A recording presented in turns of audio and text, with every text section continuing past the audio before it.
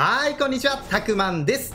ジェニファー・ボルターズ覚醒チャレンジ。こちらを完全攻略していきます。はい、そしたらね、まずロッカーでスキンをジェニファー・ボルターズにしてもらって、はい、このスキンでね、ゲームを開始します。はい、では最初のミッション。ジェニファー・ボルターズとして、ジェニファー・ボルターズ法律事務所を訪れるですね。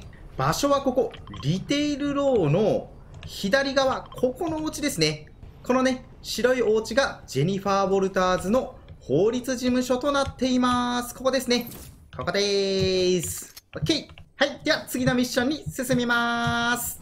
はい。では次のミッション。ジェニファー・ボルターズとして、ドクター・ドゥームのヘンチマンを撃破する。3人ですね。ドクター・ドゥームのヘンチマンはここ。プレザントパークっていうか、今はもうドゥームドメインですね。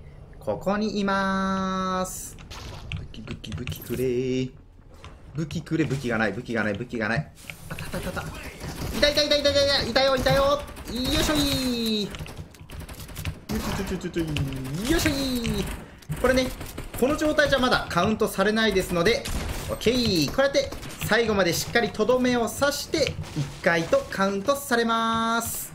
2人目発見でーす。おれおれおれおれおれおれおれおれおれ。オッケー。よいしょよいしょいこれで2人目ですねお、いたいた。よいしょいよいしょいよいしょいおらいオッケーこれで3人目成功でーす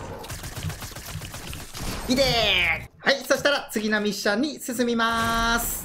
はい、では次のミッション。ジェニファー・ボルターズとして、壺の破壊後にエモートを使うですね。壺はね、このダーティードックスのど真ん中の倉庫にあります。この倉庫ですね。この倉庫の中にね、大量にこんな風に壺がありますので、これをおりゃおりゃーとぶっ壊してください。そして、壺を壊した後にエモートを使う。うわっしゃい。オッケー。これで、ジェニファー・ボルターズの覚醒チャレンジ、完全攻略成功でーす。そうそう、壺はね、別にこの場所じゃなくても、例えばね、キャンプコットのこの家とかね、あと、ホーリーヘッジズの左上にあるこの H の形をしたこの豪華なお家とかにも壺はたくさんありますので、そっちの方でやっても大丈夫だと思います。OK! そしたらね、一回このエモートをゲットしたら、もういつでもどこでもこのエモートを使うことができるようになります。OK!